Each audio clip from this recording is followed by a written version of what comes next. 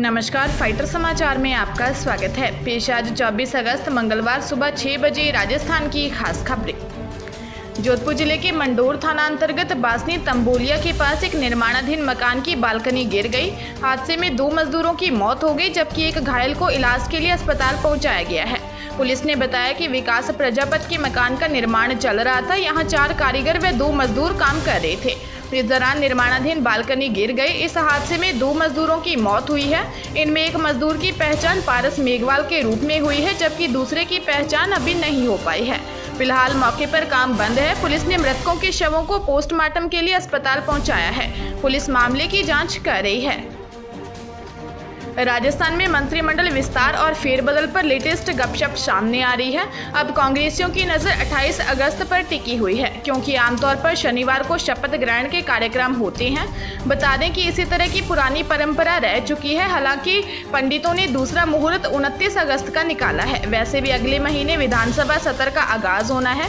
विधानसभा सत्र से पूर्व नए मंत्रियों को भी तैयारी के लिए कम से कम एक हफ़्ते का समय चाहिए। लिहाजा अगस्त का ये महीना बेहद अहम माना जा रहा है। वहीं मंत्रिमंडल में पहली बार जीत कर आने वाले विधायकों को मंत्रिमंडल और राजनीतिक नियुक्तियों में जगह नहीं देने के फॉर्मूले के तहत अब ऐसे विधायकों को संसदीय सचिव बनाने की तैयारी की जा रही है। चित्तौड़गढ़ ज़िले के गंगरार थाना क्षेत्र में दो दिन पहले हुए जमीनी विवाद में डीएसटी और एसएचओ को निलंबित किया गया है। राजस्थान के महानिदेशक एम एल लाठर ने डीएसटी कमल जांगीर को निलंबित कर दिया। इसी तरह राजस्थान के अतिरिक्त महानिदेशक, पुलिस सतर्कता बिजू जॉर्ज जोसेफ ने थानाधिकारी शिवराज गुज्जर को भी निलंबित कर दिया। इस आदेश को डिप्टी कमल जांगीर की उपस्थिति में बेंगू विधायक राजेंद्र सिंह भिंदुड़ी के गंगरार थानाधिकारी की कुर्सी पर बैठने को लेकर जोड़कर देखा जा रहा है। गंगरार के स्टेशन के पास करोड़ रुपए की एक विवादित ज़मीन है। भीलवाड़ा के एक औद्योगिक समूह ने अपना हक बताते हुए चार दीवारी बनाने की कोशिश की। इस पर दूसरे पक्ष ने अपना दावा पेश कर मारपीट की। दूसरे पक्ष के बेंगू विधायक राजेंद्र सिंह विधुड़ी को मौके पर बुलाया। उन्होंने भीलवाड़ा के औद्योगिक समूह के खिलाफ मामला दर्ज करवाया था। राष्ट्रीय राजमार्ग railway route, stadium warehouse power grid pipeline जैसी सरकारी बुनियादी ढांचा संपत्तियों को निजी क्षेत्र को कमाई के लिए लीज पर देकर केंद्र की मोदी सरकार करीब छह लाख करोड़ रुपए जुटाने की तैयारी कर रही है। वित्त मंत्री निर्मला सीतारमण ने इसके लिए नेशनल मोनेटाइजेशन पाइपलाइन प्रोग्राम की शुरुआत की। वित्त मंत्री निर्मला सीतारमन ने कहा कि इन एसेट का ऑनरशिप सरकार के पास ही रहेगा, बस इन्हें कमाने के लिए ही पार्टी को दिया जाएगा, जिसे वे कुछ साल के बाद वापस कर देंगे। नेशनल मोनेटाइजेशन पाइपलाइन केंद्र सरकार की अगले चार साल में एसेट से कमाई की एक योजना है।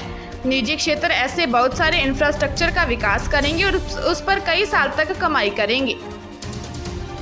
कोटा ज़िले के बपावर थाना क्षेत्र के मोईकला में चामुंडा मंदिर मार्ग पर स्थित एक खदान में भरे पानी में डूबने से एक बालक की मौत होने की जानकारी सामने आई है। सूचना पर पहुँची पुलिस ने मृत बालक के शव को खदान से निकलवाकर अस्पताल की मोर्चरी में रखवाया है। पुलिस ने बताया कि हादसे में 10 वर्षीय बालक ऋषभ की मौत हो गई। पुलिस मामले की जाँच कर रही है। सिरोही ज़िले के रेवदर थाना क्षेत्र के दौलपुरा पेट्रोल पंप के पास अज्ञात वाहन ने बाइक सवार को टक्कर मार दी। हादसे में बाइक सवार व्यक्ति की मौके पर ही मौत हो गई, जबकि एक अन्य व्यक्ति घायल हो गया। सूचना पर पहुँची पुलिस ने मृतक के शव को अस्पताल की मोर्चरी में रखवाया है। वहीं घायल को अस्पताल में भर्ती करवाया, जहाँ चिकित्सकों ने प्राथमिक उपचार के बाद उसे गुजरात रेफर कर दिया। पुलिस अज्ञात वाहन चालक की तलाश कर रही है। पूर्व मुख्यमंत्री और भाजपा के राष्ट्रीय उपाध्यक्ष वसुंधरा राजे ने प्रदेश सरकार से पश्चिमी राजस्थान में सूखे के कारण किसानों को हो रहे नुकसान पर चिंता ज़ाहिर की है। साथ ही प्रदेश सरकार से इस क्षेत्र में जल्द ही गिरदावरी करवाकर प्रभावित किसानों को जल्द उचित मुआवजा दिलवाने की मांग की है।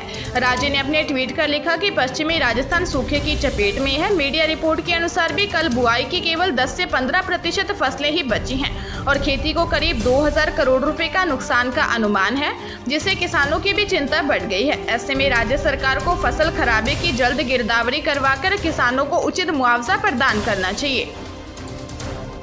उत्तर पश्चिम रेलवे पर चार ट्रेनों में एमएसटी की सुविधा मिलेगी। मिली जानकारी के अनुसार Sikar, Loharu, Sikar special, Jaipur, Suratgarh, Jaipur special, Jaipur Phulera, Jaipur special और जयपुर मारवाड़ जंक्शन जयपुर में जयपुर से अजमेर तक ट्रेन में एमएसटी की सुविधा मिलेगी। इन सभी ट्रेनों में मासिक सीज़न टिकट में से यात्रा सुविधा मिल सकेगी। अब तक कुल तेईस ट्रेनों में रेलवे ने एमएसटी की से यात्रा की अनुमति दी है। कांग्रेस एक बार फिर बिना जिला और ब्लॉक स्तर पर संगठन के ही पंचायती राज चुनावों में उतर गई है।